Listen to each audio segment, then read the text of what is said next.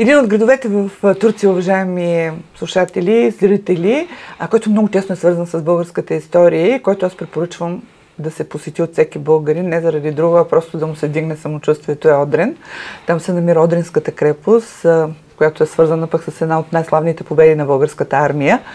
Там ни води Зори Рашева. Сега, в следващото ни пътуване, в предаването така е. Животът е пътуване. А, здравейте! По принцип, Одрин е много често така свързан най-вече с безумния шопинг, ефтината турска лира, но в случая можем да кажем, че той наистина съдържа една изключително интересна история и много повече свързана с българската история, отколкото вероятно към днешна дата нали, с турската история. Самия град е изключително стар, той носи първото си име Оскодама, което е всъщност едно от най-важните селища на Одринското царство.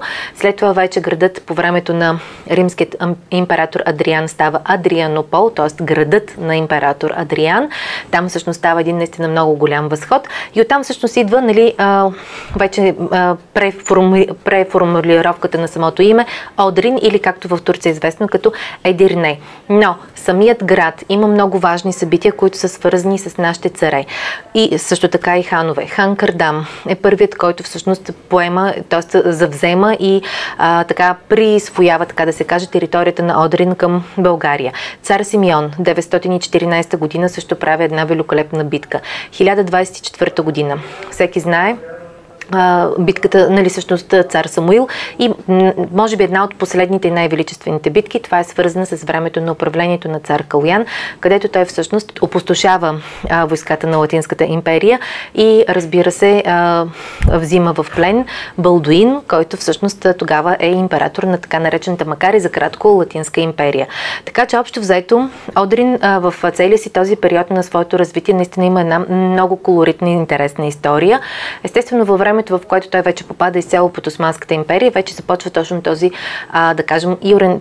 разцвете на ориенталската архитектура, но не се забравя и все още остава много дъл... в дълъг период, също така и българското самосъзнание. Въпреки, че когато вече е част от Османската империя, той наистина получава много голям разцвет и е наборявал около 400 хиляди души. И всъщност това е бил един от, може би, четирите града в цяла Европа, който е имал толкова голямо население. Отделно това, това е една от първите столици, всъщност хайде не е първа, но втората столица на Османската империя, нали, след, след което вече става и Константинопол. Но независимо, че столицата става Константинопол на Османската империя, за всички султани любимо място е било по-скоро Одрин, отколкото самият Константинопол. Те са го ползвали за своите, да кажем, ловни мероприятия, по принцип са го харесвали много повече, отколкото сами, самата столица Константинопол. Градът е известен естествено с изключително много интересни джамии. Ако нали, говорим за точно този тип ориенталско или по да, ориенталско изкуство, естествено всеки, предполагам, знае джамията Селимие, която всъщност е дело на архитекта Синан Ага, който можем да кажем, че а, е, е имал един много дълъг, дълъг живот. Той умира на над 90 годишна възраст и повече от 50 години а, работи и а, всъщност е част от управлението. Аз имам предвид по отношение като архитект, работи доста дълго време. Той до 50 годишната си възраст е бил военнослужащ към Османската армия, след което става архитект. Изключително много джами, медресета, мостове са негово дело, като нека да не забравим, че всъщност негово дело дори имаме и две а, сгради, които са всъщност а, построени, построени от него. Това е всъщност мястото на днешната църква Свети Седмочисленици в София и а, още една джамия, която се казва Баня Баши. Всъщност нали, също се намира в София. Тя е дело точно на този архитект Синан. Та, въпросният архитект построява наистина едно великолепно чудо. Това е джамията Селимие, която можем да кажем, че по нищо не, не отстъпва и на Света София в Истанбул Истанбул. Има много интересни легенди, защо точно това място е избрано и защо толкова много лалета има изрисувани в цялата тази джамия. По принцип лалето знаете, че е част от така символа, по принцип свързан с така, дори днешна Турция.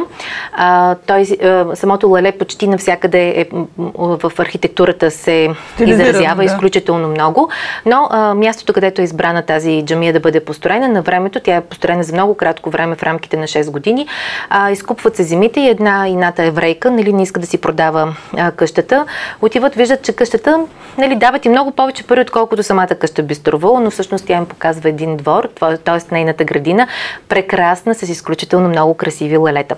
Тогава те обещават, нали, че със сигурност ще сложат символът на лалето и ще бъде изобразен на вся, във всяко едно място на самата джамия. Тя се съгласява и тъй като много спорове е имало, докато всъщност се предаде така да се каже този имот, те наистина правят изключително много а, фризове нали, по отношение на лалетата, но не така обърнато нагоре, а надолу, нали, за да покажат, че въпреки многото инати, те един вид малко така да и върнат заради самият този инат. Тази джамия наистина е изключително интересна. Ески джамия също е за така част от, или така наречената стара джамия също е, е много интересна за разглеждане, но ако трябва да бъдем конкретни, също имаме и много български елементи, които можем наистина да видим в този град Одрин. Сградата на първата мъжка педагогическа гимназия доктор Петър Берон, който той дарява собствените си средства, за да бъде построена тя се нарича педагогическа, защото там започва люпилната, така да се каже, на първите педагози или учители, които, е, разбира се, са свързани след това с просветното и образователното дело. Двете църкви, Свети Константин и Елена и Свети Георги Победоносец, и двете могат да се посетят. За радост, нали, все пак нашите така съседи турци се грижат достатъчно добре и за двете църкви, така че те остават един наистина характерен елемент в историята изобщо в мястото, където се намира Одрин. Одрин е изключително интересен и от към дори природна гледна точка, защото там всъщност се сливат трите реки, които идват всъщност по принцип от България. А, това са Тунджа, Марица и Арда. Няколко моста са, които са много изключително интересни, т.е. и архитектурни. Малко в рамките на около 50 км на юг се намира един град, който се казва Озун Кюпру, който всъщност показва а, името му Дългият мост. Той също е така интересен, може би над километър и половина е самият мост с над 200 арки и е оцелял стотици години и до ден днешен също е такъв прекрасен елемент. Но по пътя ни за Одрен а, можем да се отбием на много интересно място. Това е една пещера, която по принцип е свързана, т.е. много познато име дори в България. Пещерата се казва Дупница. Тази пещера е една от най-големите или по-скоро най-дългите пещери в Турция. Турците знаете, че от най-малкото нещо правят сензации, забележителности и всъщност обекта за привличане на туристи. Тя се намира, така можем да кажем, по-близо до Лозенград, отколкото до Одрин, но е на главен път. А, има три входа, като единият вход а, всъщност а, направен е така, че няма как и трите километра да бъдат обходени като цяло, но заради тези три различни входа тя е доста, до, доста интересна. Единият вход е от, към река. Счита се, че всъщност нали, тя е запълнен, този вход е запълнен де-факто от реката Резовска. А, другите два входа са сухоземни, т.е. могат да си минат и в рамките на не повече от около половин километър навътре може да се посети самата пещера. Тя е на 180 милиона години, което ако трябва нали, да сме така свързани с палеологията, е сравнително млада пещера. Тоест не е чак толкова стара като образование. Интересното е, че през месец май е затворена, т.е. ако решите тогава да отидете, със сигурност няма да ви пуснат заради популацията на специфичните парилипи, които съответно се развъждат там като самообитание. Затова, нали, принципно, точно през месец май не е подходящото време за разглеждане, но изключително така една приятна отбивка по отношение на една, да кажем, еднодневна или двудневна екскурзийка, свързана с този прекрасен град Одрин.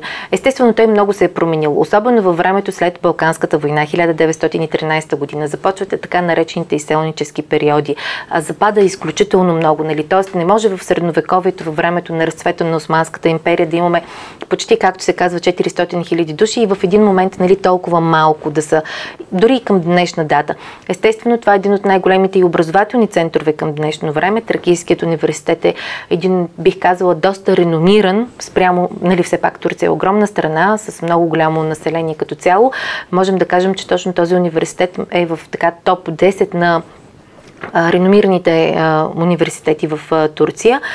Така че а, сега той всъщност представлява една наистина комбинация от много етноси, както ги имаме и до ден днешен, с останала от тях култура и с много красиви архитектурни забележителности, които си заслужават, макар и в хаоса, който понякога цари в самия град, тъй като е доста така, можем да кажем, че е изключително натоварен.